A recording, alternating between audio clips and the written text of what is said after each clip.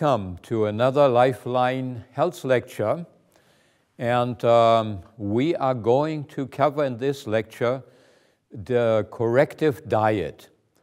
The corrective diet is a diet that, uh, well, on this slides it says that uh, I myself uh, um, wrote this diet, and I did write it, but I didn't really invent it. This diet uh, is taken out of the scriptures. And uh, it has been, or we have been using it for quite some years now. And we have even a few doctors already who are using this diet with their patients and it has given us wonderful results in uh, reversing uh, all kinds of different uh, chronic diseases. And uh, people have uh, been able to lose weight with it without really being hungry. We have uh, had people who have increased their energy level in a tremendous way. And so um, it's really, it has really been a big blessing to many people.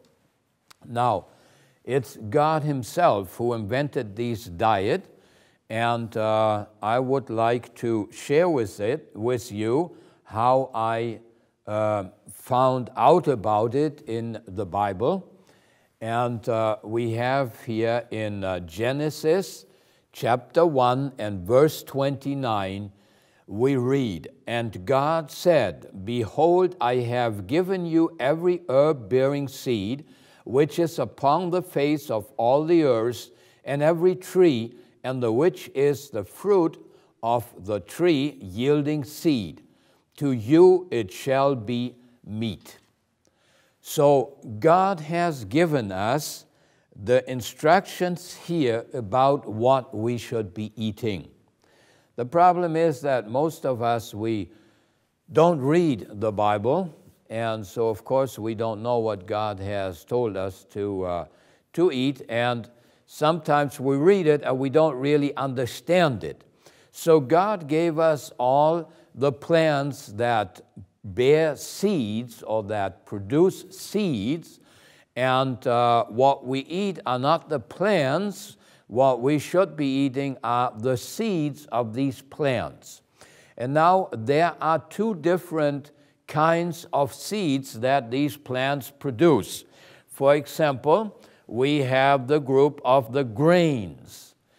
And the grains are something like rice, corn, wheat, oat, uh, oats, and barley, and uh, uh, millet, and quinoa, and all these wonderful things. That's one group. And then we have another group, the legumes, which are the beans and the lentils and the, the chickpeas and all these good things.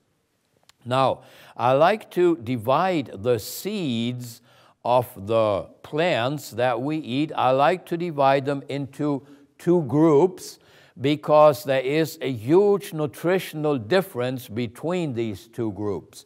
The grains, for example, are very high in carbohydrates, and the legumes are very high in protein.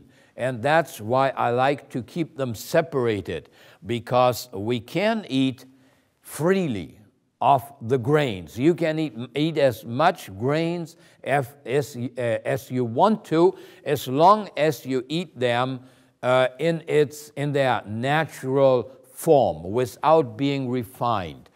And then the second group, the legumes, because they are very high in protein, and we have learned by now that we should keep our protein consumption as low as possible. Uh, we always uh, get too much of protein, at least in the industrialized countries. And so I like to keep them apart because the legumes, we should really eat them very, very sparingly. Maybe once a week. I personally don't eat them more than just a few times a year cooked because uh, when we sprout them, the, the legumes turn practically into a vegetable. All right, so these are the seeds that the plants produce that God has given us as food. And then He gave us the fruits, and the seeds of the trees. And the fruits, of course, we know the fruits as the fruits. It's the same word we use nowadays. And the seeds of the trees, we call them nuts. So we have another two groups of foods here. We got the fruits and the nuts. And the same thing is uh, valid here as for the first uh, two groups. Of the fruits, we can eat as much as we want to. We don't have to restrict ourselves in eating fruits because they have wonderful nutrients and they have also a good amount of carbohydrates. The nuts, on the other hand, are very high also in um, proteins and they're very high in fats. And the nuts, we should also eat them very sparingly.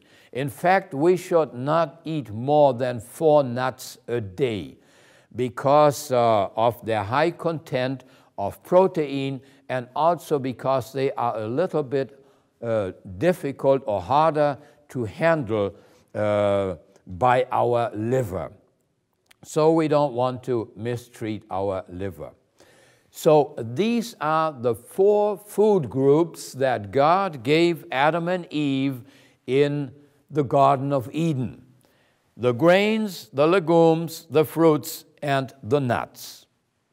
But then something terrible happened, and uh, according to the scriptures, Adam and Eve committed sin.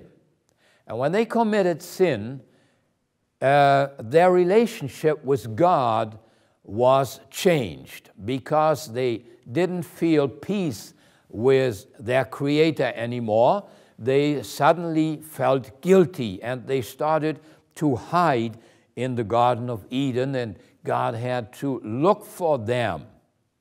Now, when we lose the peace with God or peace with our neighbors, or we lose peace with our spouse or our family members or our working colleagues and or whatever, uh, or if we become very worried or afraid or if we under emotional stress, whatever, we know now that in this state of mind, our body will produce a tremendous amount of acidity.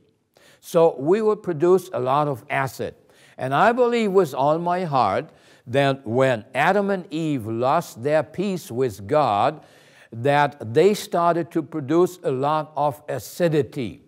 Now, acidity is something that will definitely kill us. It will eliminate us. It will make us sick. And uh, so acidity is really something terrible. And uh, God now saw the need to probably alkalize Adam and Eve because he wanted them to live for hundreds of years more. And I believe that that is the reason why he changed our instructions on nutrition. Because after sin, in chapter 3 of Genesis and verse 18, it says, Thorns also and thistles shall it bring forth to thee, and thou shalt eat the herbs of the field.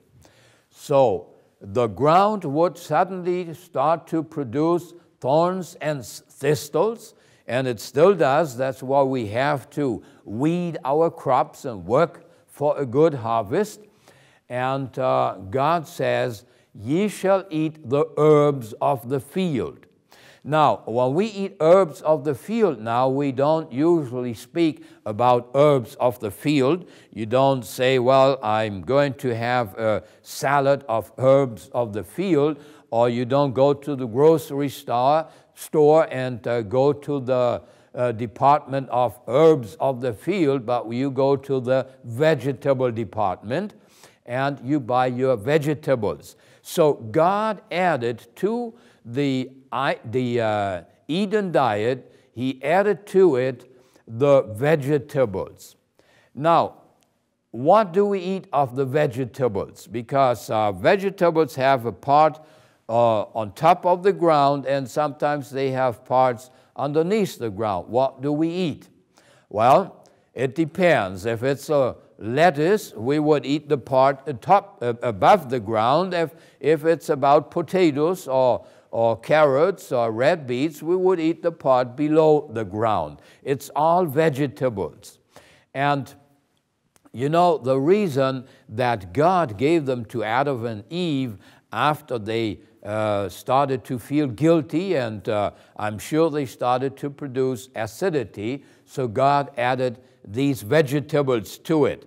And that's, this already will show you that if you want to know which are alkaline foods, well, go to the vegetable kingdom because everything in the vegetable kingdom is alkaline. It doesn't matter whether it's the green leaves or whether it's the potatoes, everything is alkaline. And if you want to do anything against your state of acidosis, then you have to use in a big way, in, a, in big quantities, the vegetables of the field. Now, Said all this, we end up with uh, five food groups the grains, the legumes, the fruits, the nuts, and the vegetables. These five food groups were the foods that God's people ate for probably, we think, about 2,000 years because they eat, ate these foods from the day they were uh, thrown out of Eden until the flood. That was the time span in which God's people lived of these uh, five different food groups. And I tell you, people did pretty well on it because they lived an average of about 900, somewhere around 920 years. I, I'm not sure uh, exactly, but it's some 918, 920 years, something like that. That was the average life uh, span of the 10 generations before the flood. So if you want to live healthy and live a long life, these are the food groups that you should eat. And that's really all you need. You don't need anything else because all the nutrients that we need are in these five food groups. And uh, if you eat them the way God produces them, then you don't really have to worry about supplements and, uh, and all these kind of fancy things that we use nowadays to hopefully stay uh, healthy. So it is also these five food groups that you will find in the corrective diet. Now, what I did is in the corrective diet, I separated the foods because when God gave us the food groups, He gave us acidic and alkaline foods. Why did He do that? Well, our body needs a perfect balance between acid and base. I have mentioned that already in my lectures before. And when God made us, He gave us an alkaline body that by function constantly produces acidity, but He put the alkaline body producing acidity into an alkaline world. So, alkaline body producing acidity in an alkaline world, that was absolutely perfect because uh, it was easy to eliminate the acidity. And so God gave us some alkaline foods and He gave us some acidic foods. But the situation has changed, friends because now we do not live in an acidic, in, sorry, in an alkaline world anymore. We have managed to make this world so acidic that it is affecting our health. And now look at it. We have an alkaline body producing acidity, and now it is living in an acidic world. So alkaline body producing acidity in an acidic world, now the acidity is in majority. The acidity that we produce cannot be eliminated anymore in, by just living in an alkaline world. We have to do something special. And uh, what I did here now is that the five food groups that God gave us, I separated the foods into alkaline and acidic foods. And I took out all the acidic foods of these diet. So whenever you look at the corrective diet, you will know all the alkaline foods because they're all in there. If the things are not in the diet, they're probably not, um, not uh, alkaline because um, the, the acidic foods are the ones that I took out. Now, this diet is called a corrective diet. It's not a permanent diet because you cannot permanently stay just on alkaline foods.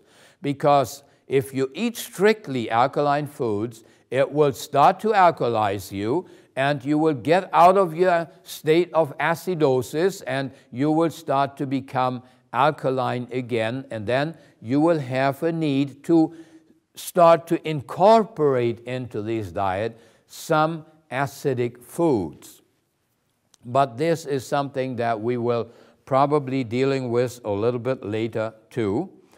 So this here now is the corrective diet. Now, the corrective diet is uh, based on some uh, technical facts and uh, that have to do with our metabolism. For example, in the morning, this diet is recommending us a big raw salad. Well, when people see that first, they say, oh, you got to be crazy. Why do you do such a thing? In the morning, you have a little bit of cereal and a little bit of fruit, right? That's a good breakfast.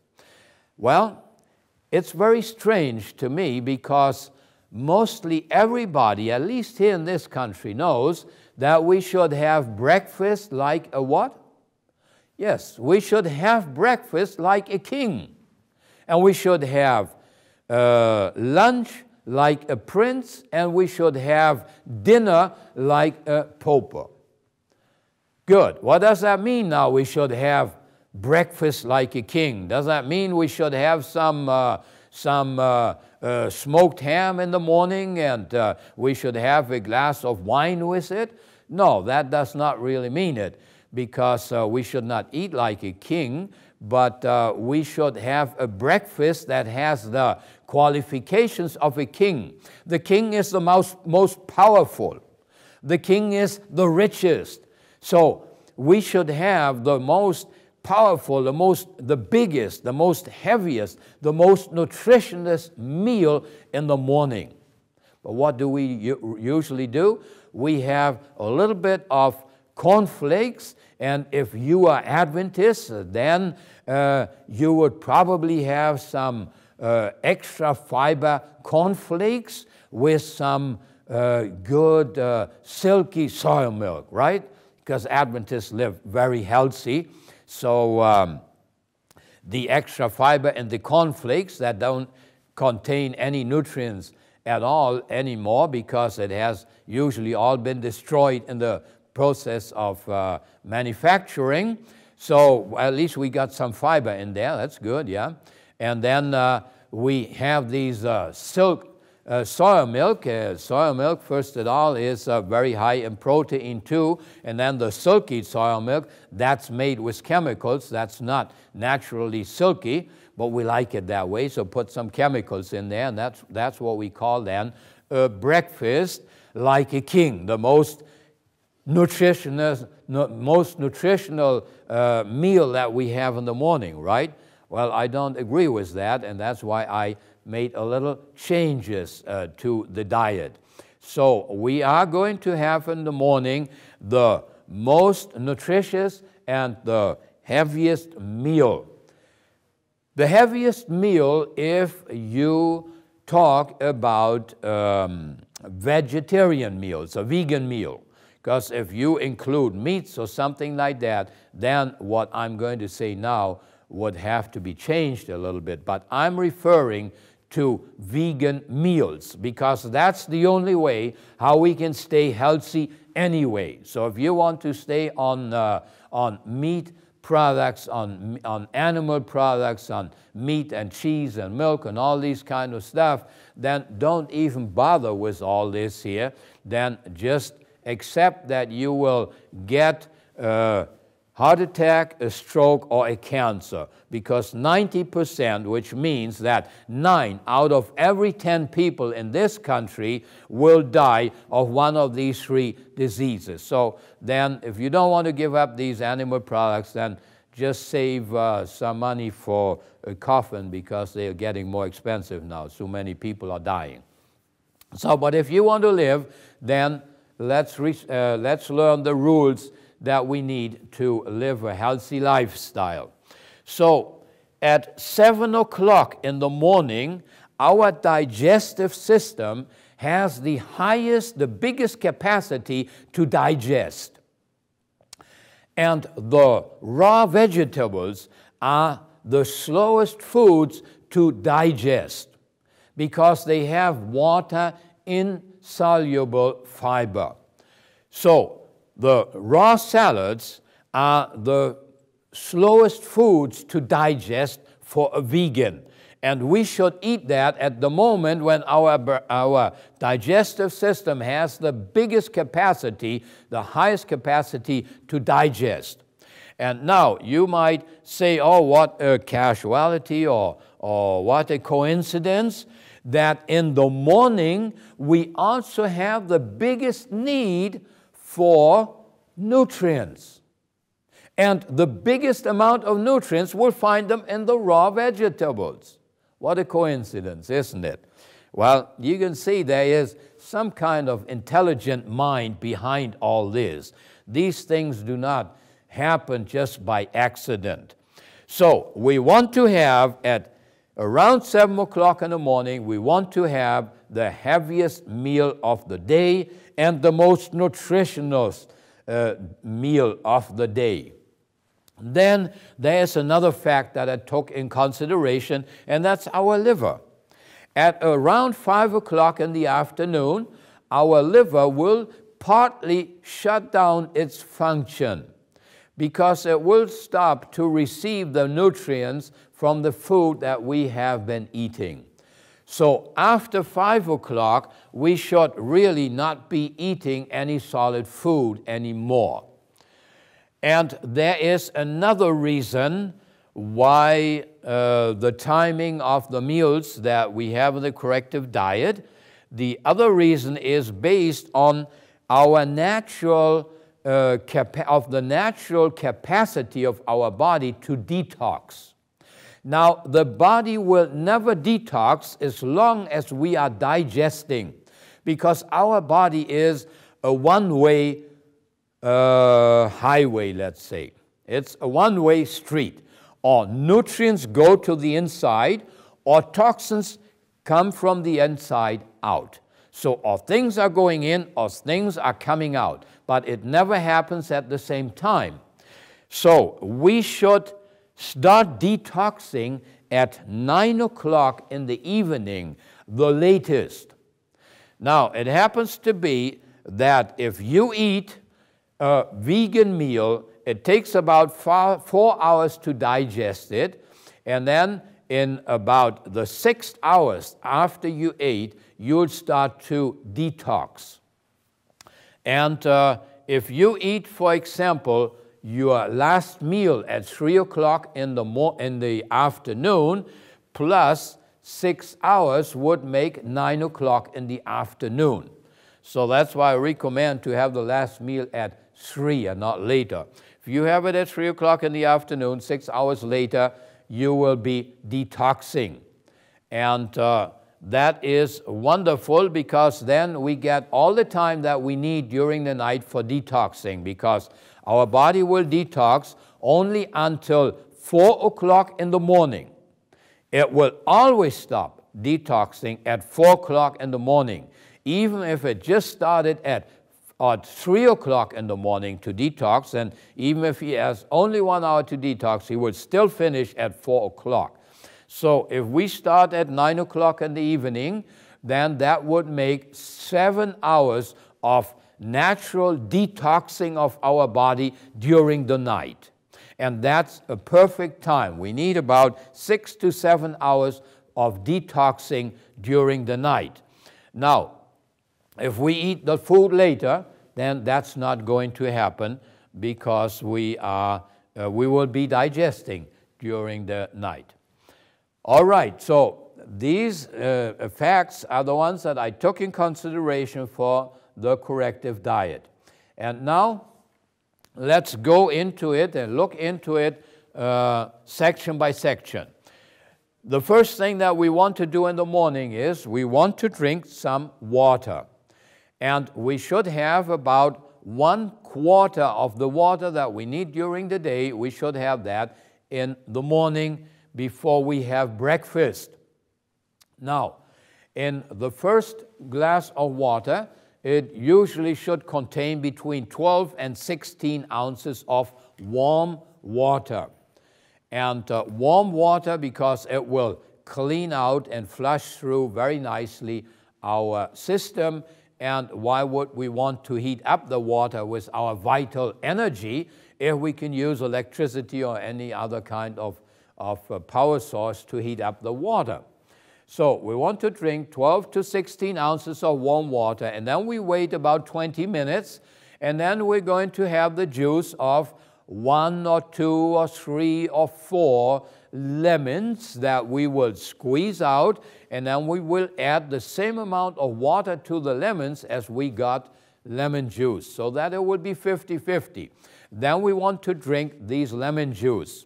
Now, how many lemons do we want to use? Well, if I am in excellent state of health, I would use one lemon. And if I'm a little bit obese, or if I uh, suffer diabetes or have any kind of uh, uh, health problems, or even if I have cancer, I would probably use the four lemons. And uh, so according to our health problems, the way they worsen, we would increase the number of lemons that we are using. These lemon juice and this concentration will help us to uh, fortify and cleanse our liver. That's why we chose these kind of relationship, 50-50. And please don't use any sweetener with it, of course. And uh, then another 20 minutes later, we want to drink the second glass of warm water. And remember that we need to drink one quart of water for every 45 pounds of body weight. All right, then uh, about 20 to 30 minutes after we have had all this water, then we are ready to have our breakfast. Now, at breakfast, everything should be raw, absolutely raw, nothing cooked there. And we want to have a big salad because it's in the vegetables where we find the biggest amount of nutrients. And now, our salad consists of about three different parts. We have what I call the green part. Now, the green part is not really everything green.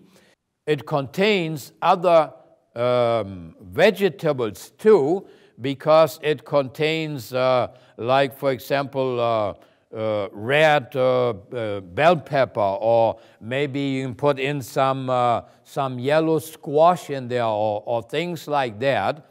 And um, so, but I call it the green part because this part is very heavy on phyto, phytonutrients. It is a very, it has a lot of nutrients in them, vitamins and enzymes and all that. But in this part, we don't have any carbohydrates in there. And so for carbohydrates, we need to find some special uh, vegetables that can supply us carbohydrates because that's the fuel for our body. And the biggest part of our salad in the morning should be the part that supplies the carbohydrates. Now, here I got sweet potatoes or, or carrots or even red beets. These are the three vegetables that you can use to uh, add the needed calories to your salad in the morning. Now, the carrots and the red beets are quite sweet, and I don't like them too much. The one, one I like best and I always recommend are the sweet potatoes, the, these uh, big pink sweet potatoes that they sell everywhere in the supermarkets.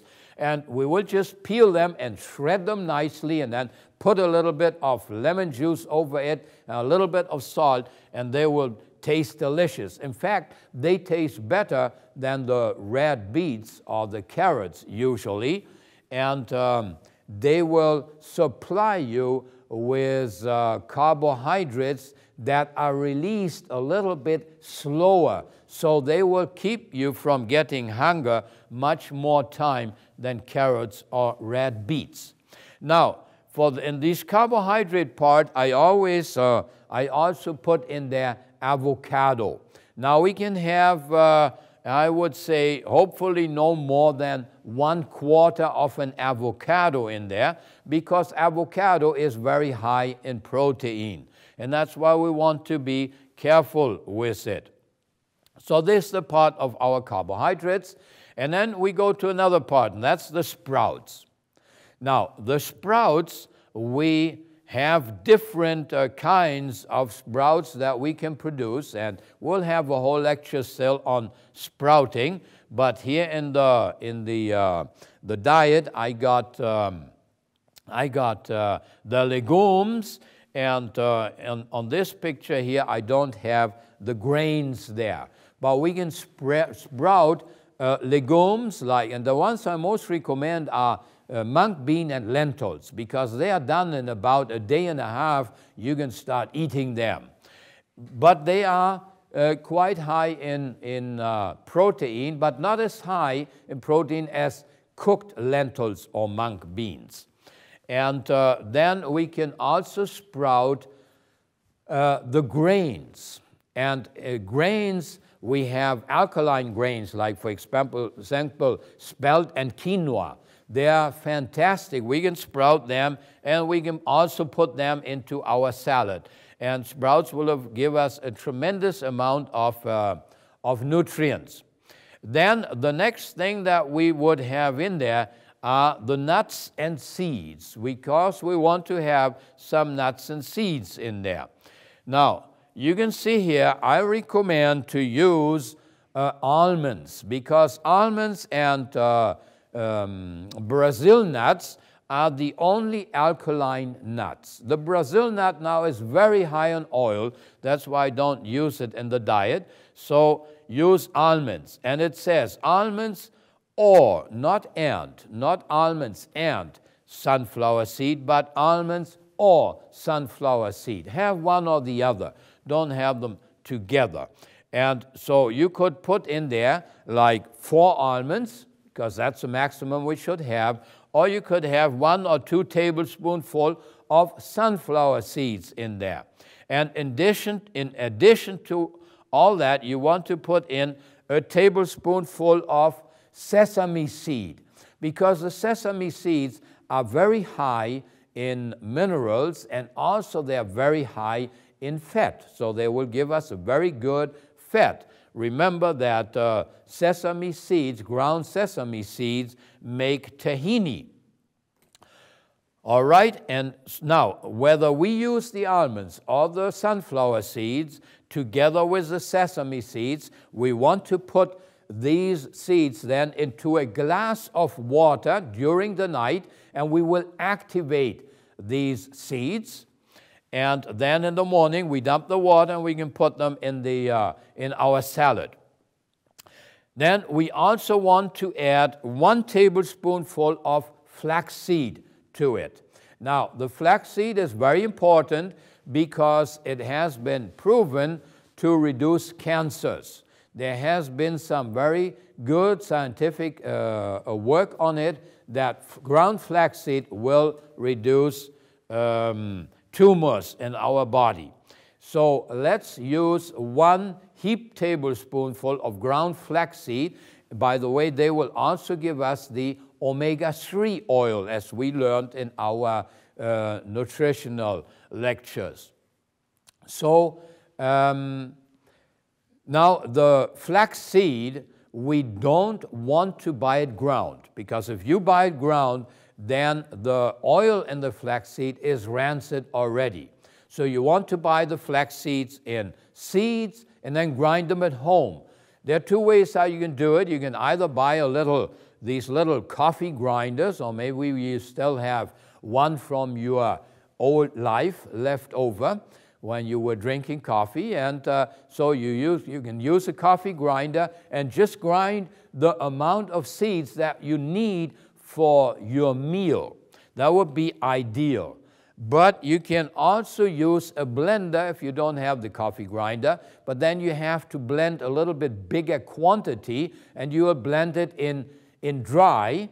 And uh, then you use what you need to use and whatever is left over, if it's ground, you want to put it in a plastic bag and then you can put it into your freezer. Don't put it into the fridge, put it in the freezer to make sure that the oil will not get rancid. It will keep better in the freezer. All right, so we got our seeds there, and uh, now we need to think about the dressing. Of course, we don't want to use uh, regular salad dressings. We want to uh, use natural things, and I recommend to use uh, some uh, lemon juice over your salad and you can also crush some garlic and put that over there. And then I recommend to use some salt. Now, with the salt, I very strongly recommend always to use real salt. Real salt is a brand. It's a brand name of a sea salt. And it is, it comes from a mine. So it is a salt that has been produced or deposited after the flood. And the flood, in the flood, in the, the oceans of the flood, we still have not had all the toxins that we have in our oceans now. So if you use salt, uh, uh, uh, sea salt that has been produced now, I'm not sure how clean that stuff may be because the oceans are very contaminated. So if they want to refine the the, the salt so much that there will be no toxins in there, then I'm pretty sure there will be no minerals in there anymore either. And um, so if they refine it and they lose the minerals and the toxins, if they don't refine it very much, then you got minerals in there, but then you probably have some toxins in there too. So please use the real salt. It is not very easy to get but you can get it in uh, health food stores or whole food stores. You can get it in there. Then you can also use something that is called Peter seasoning. Now, Peter seasoning is a seasoning that is a mixture of herbs and um, it comes in a powder form. And I developed these years ago, and uh, I like to use it on my own salad. And it was very good, and so I would sometimes take it with me when I was visiting other people. And uh, I had a couple that uh, were friends of mine that I would go and visit, and they had seven children, an American couple with seven children. And these children, when I was visiting there, they always wanted to have a green salad in the morning because Peter brought his seasoning with him. And so they call that pita seasoning. And later on they say, well, why don't you just start to produce this thing and thing and, and make it available to people so that they can sprinkle it over their salad. So that's the history of uh, the pita seasoning. Uh, you can order it from us if you like to. And um, it's very good, it's very tasty and very healthy, doesn't need any refrigeration, and it lasts all the time you want it to. Now, that's the dressing that we want to use. Oh, and I want to mention that you hopefully don't use any oil on it, not even if it's good.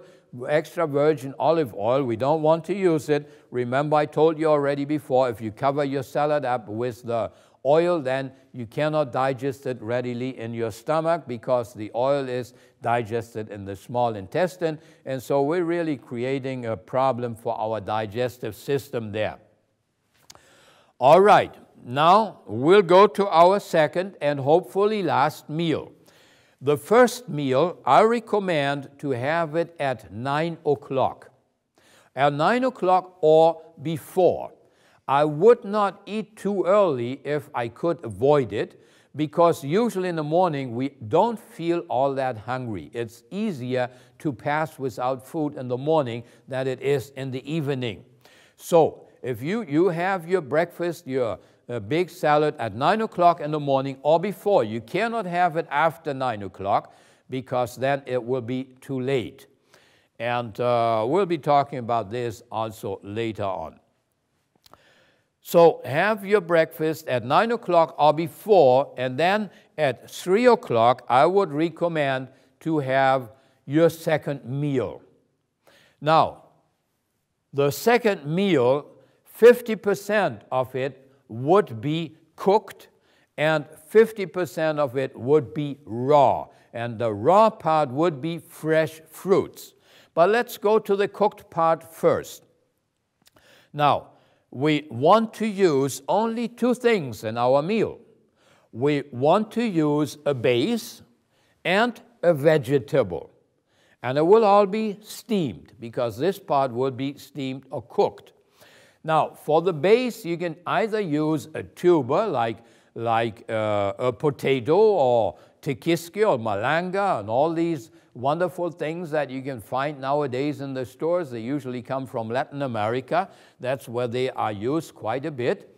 And uh, so have either one of these, or you can have one of the grains. The alkaline grains that we can have in the corrective diet are spelt, quinoa, amaranth, and buckwheat and millet. These five are alkaline, and we can steam them or cook them, prepare them just like rice, and then have them together also with a vegetable. You can have one or the other as a base. Now, if you are very overweight and you want to use, lose weight, then use potatoes. The more potatoes you eat, the more, the more weight you will lose. Now, people always look at me like I was crazy when I say that, but it is true. Make, try it out. Potatoes will not make you gain weight. They will make you lose weight. Look, for example, this here would probably be, this size would probably be a medium-sized potato. And a medium-sized potato only has about 90 calories. So a person like myself, I would need approximately about 2,600 uh, calories a day to, uh, to get through my day. That's my, that's my caloric need. And if I would try to satisfy it just with medium-sized potatoes, then I would have to eat about uh, 28 to 29 medium-sized potatoes. You know what? There's no way I could ever get them into my stomach, even though I'm a very good eater, but they don't fit in my stomach. So the more potatoes you eat, the more uh, or the bigger your, your calorie deficit will become.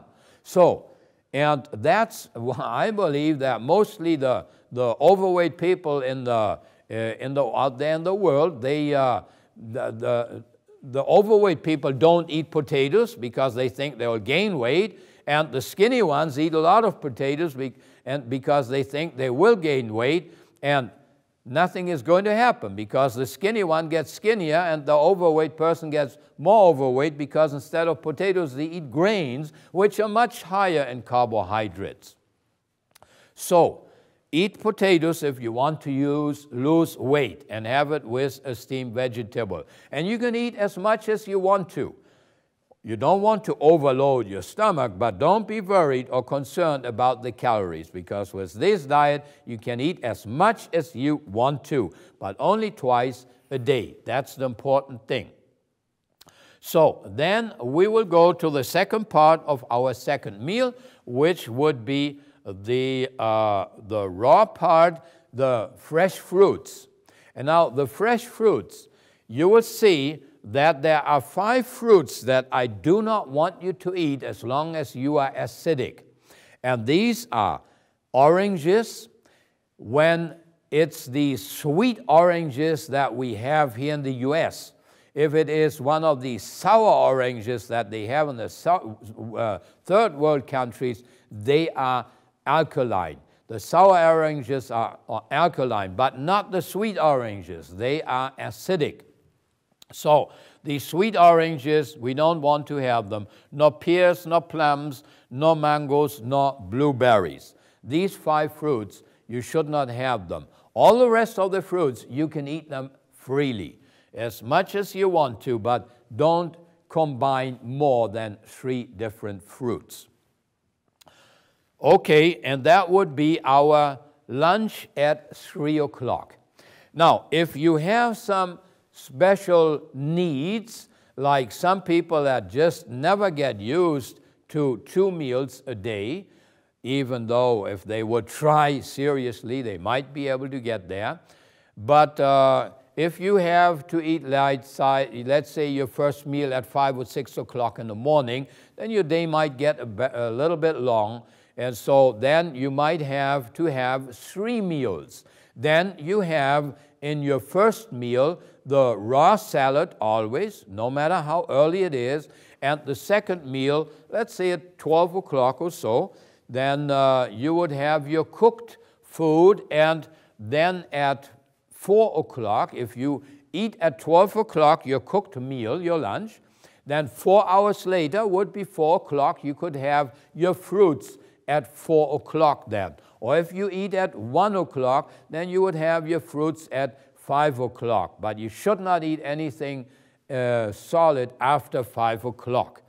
So then you have your uh, fruits, and that way you would be on three meals, which would not be, will not be as good as being on two meals. You'll understand that later on. And then I recommend in this diet to use some green juices. Now, these green juices are a very important part in this diet. As I explained you already in lectures before, that our foods nowadays contain the best 50% of the nutrients that they were containing 50, 60 years ago. And so if we fill our body up with the food that we normally eat, then we only get half of the nutrients that we used to get. So we want to get some concentrated nutrients into us.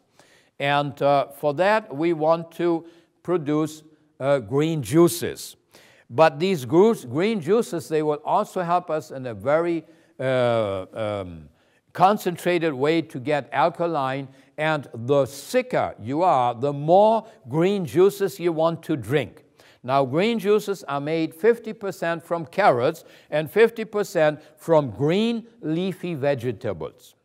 Now, you can't make juices from green leafy vegetables with a fruit juicer, which is usually the, use, the, the juicer that people have in their homes. So you would have to get a wheatgrass juicer. And the ones that I recommend most, most is the Omega 8003 or the Samson. They are almost the same. There's hardly any difference between these two juices. And the advantage they have is that they are slow moving juices. They only have between 75 and 80 revolutions per minute, and they will not mix your juice with air. And that's important because if you mix it with air, the nutrients will oxidize and you would not be able to keep it. But if you make the juice with these, any of these two juices, then you can keep it all day long in a glass jar and the, oxi- the nutrients in there will not really um, uh, oxidize. And the other reason also for these juices is that they are quite inexpensive. They are much cheaper than most of the other juicers, and they only have one auger, so uh, it's the best juicer that I can recommend to you. Now, the juice, we want to drink it between meals, not with the meal, because we won't, don't want to dilute our digestive juices. And you can drink them between meals because they will not really start your digestive system because there is no fiber in it anymore. Everything is liquid, and so it is uh, something that is easily absorbed by our body. The, um, you can drink these juices until 6 o'clock in the evening. So if you don't have any health concerns, I would say you should drink at least a big glass full, maybe 16 ounces a day. Or if you want to get used to your two meal cycle and you get hungry between meals and have one in, at noon between meals, and if you are afraid to get hungry in the evening, then have another glass full at 6 o'clock in the evening. It will help you to make it until 9 o'clock before you go to bed, until you go to bed.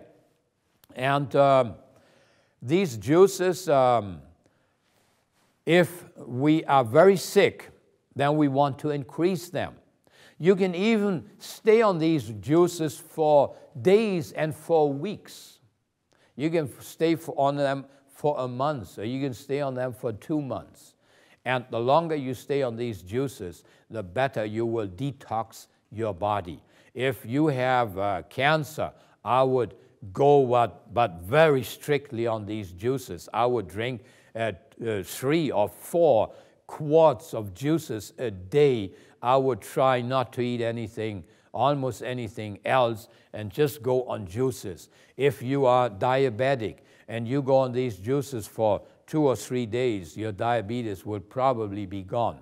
But uh, whenever you reverse a chronic disease, don't go back to your old lifestyle because if you do, you will definitely uh, go back to your old diseases that you used to have.